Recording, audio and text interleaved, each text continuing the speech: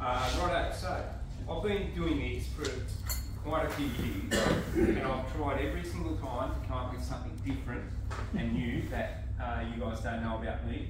And I'll, I'll do that again today, but just to rehash, that included uh, having a starring role in a musical, um, being a budding artist, which Frithy, you didn't believe me, but I showed you evidence Yeah, of that. yeah, yeah, Uh, what else is there? I did some motocross back in the day, drag race, VW Beetles. Um, anyway, but, but one of the, um, so during the early 2000s, I was um, a pretty reasonable uh, corporate banker based in Sydney, lent a lot of money throughout uh, Western Sydney in the industrial belt at Wetherill Park there. And um, uh, in about 2006, the, the head office guys called a few of us in and we started a mentor program for some underprivileged kids in some of the poor areas in Western Sydney. And um, it was, I found it to be really profound. It was one of the, the few moments, and I do it and have done a little bit of speaking, and I'm quite relaxed at it, but it was one of the few moments in my life where I struggled to get the words out during the final presentation because a young year nine kid from uh, Mount Druitt Way uh, was struggling a bit when he first met me, and um, through the course of about six months, and we met once or twice a month and, and had a chat, and I just showed him how easy it was to be more focused and set some goals and, and achieve them, and it was uh, yeah, a really good experience. So that's something you didn't know about. Anyway, today, uh, what we're going to talk about, and I appreciate the yellow and the white doesn't go so well on the screen, but anyway, you guys are going to have to suffer um, so what I'm going to do, the, the focus of the presentation is to explain to you guys some of the problems that I solve as a business broker. And that way it should empower you guys when you're sitting with your clients to listen and engage and find out what their problems are. And maybe one of those problems is something that I can fix. And I thought the best way I can do that is to take you through a case study. So we're going to talk about Murray and Marie Roos. Uh, we're going to talk about their problem and how a great business broker like Wilson's can solve that problem. Uh, I'll show you the steps that I undertook to help them. Um, uh, we'll find out what happened to Murray and, um, and Marie, of course. And then um, I'll close with uh, some steps that you guys can take to engage with your customers and um, sorry, and listen uh, and, and maybe help your customers out and help me out as well. So uh, we'll meet Murray and Marie. So Murray, um, Marie, Marie is a passionate hospitality lady, um, and Murray is a drummer in a band, and that's uh, Murray there. And the reason he's got the guitar upside down is he's a drummer, and he doesn't know any better.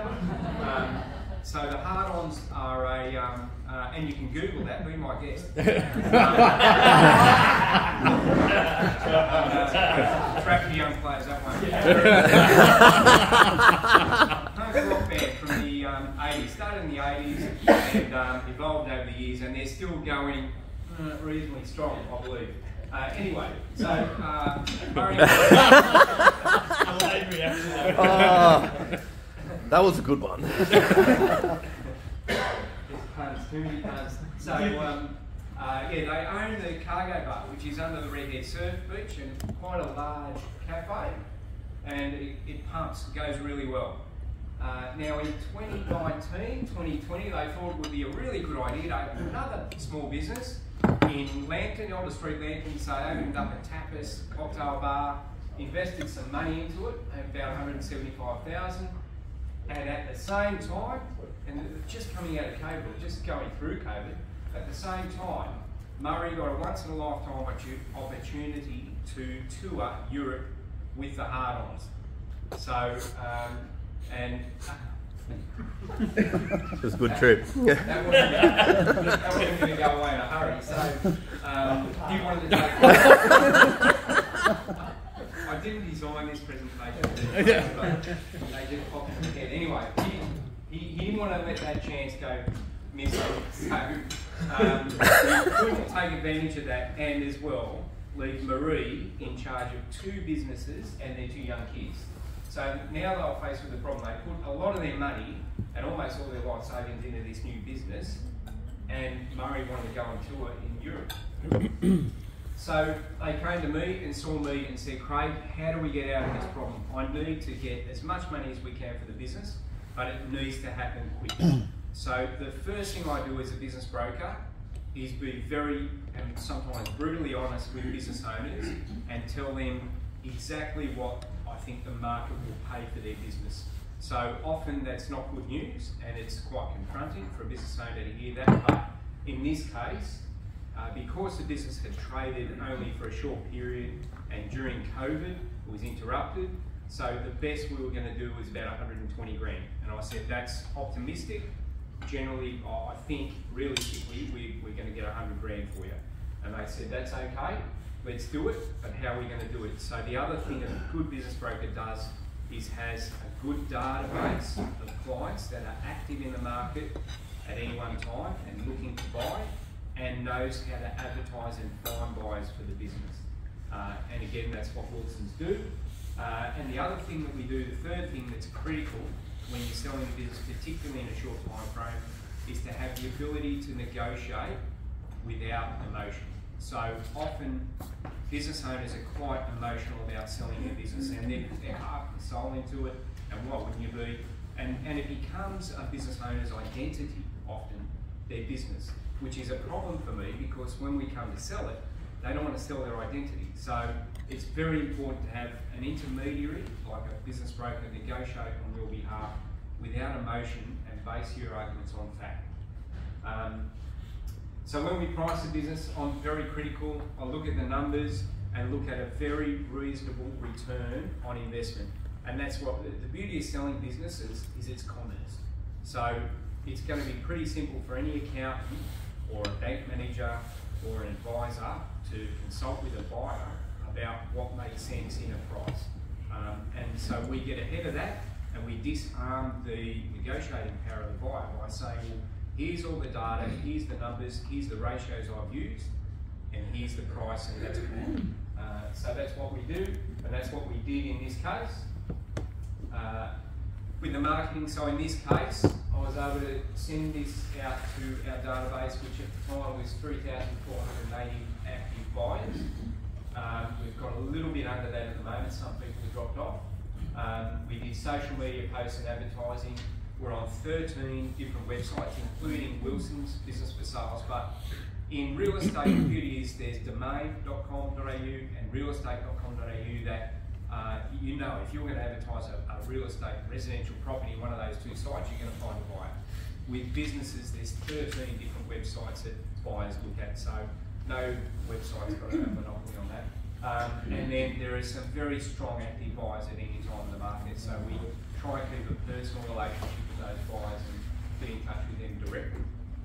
Um, and thirdly, so in this case, what happened, um, how am I going for time, Who? Doesn't take three minutes. Excellent. Um, so in this case, uh, Murray Marie, so I found I found quite a few buyers that were interested in it. It was a really well set up place. We found a buyer that was willing to offer some money. Um, they put an offer forward. I took it to the owners. They said, no, look, it's not quite enough.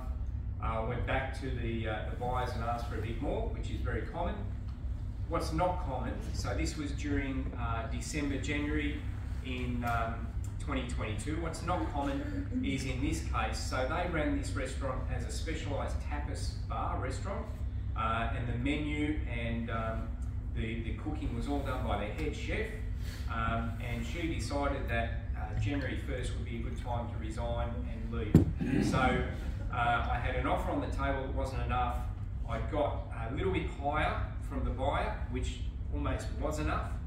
And right at that moment, the chef decided to leave. So the owners uh, then went through a very quick process of rebranding, hiring a new chef, which wasn't easy in this market. They found a new chef, we accepted the offer, but because of that turmoil in the business, uh, the buyer said, no worries, I've got a work contract in place, I need to work most of that out anyway. I want to leave the settlement period until the 15th, or the, I think it was maybe the 1st of May, which was not a good scenario for my owners. So that was going to put them under time pressure, remembering that Murray wants to be in Europe touring with the hard-ons during May. So uh, anyway, what we did then was and the way to, um, and any good real estate agent, Georgia, no, Nick, you'll learn one day. is, uh, the, the, uh, the best way to motivate a buyer is to give them uh, the fear of missing out and threaten to take it away. So, and I did, in, in actual fact, have another buyer at the table at that time who uh, offered sight unseen $5,000 more than this buyer, but importantly, with a much sooner settlement date. So they offered to do the deal, get it done in a month, uh, which at that time was sort of early March, so they were prepared to settle before Easter. Uh, I negotiated with the first buyers and said, guys, no worries, you, your offer's good and we've got a contract underway, but unless you bring the date forward, they're going to go with more money, and why wouldn't you? Um, and so, uh, yeah, mysteriously, they found a way to get out of their work contracts and do the deal. So ultimately, we got the deal done in early April, uh, and I sold the business for 95,000 plus stock, which all up was about 107,000 and some change, which was very good. Uh, and there, the, that's the actual tour dates and where the, the, the hard-ons were playing in uh, in Europe. And yes, they did indeed make those gigs. And there you go. It's a picture of the hard-ons. So, uh, very quickly, the, the thing that I want you guys to take away from this is when you're talking with your clients, engage with them and listen for the problem. And it may be that, um, you know, Wilson's can solve that problem, it may not be, but it also may be that other people in this room can solve your business owner's problem. So engage with your customers, listen to what they say, and ask a probing question uh, to find out more. And that's it.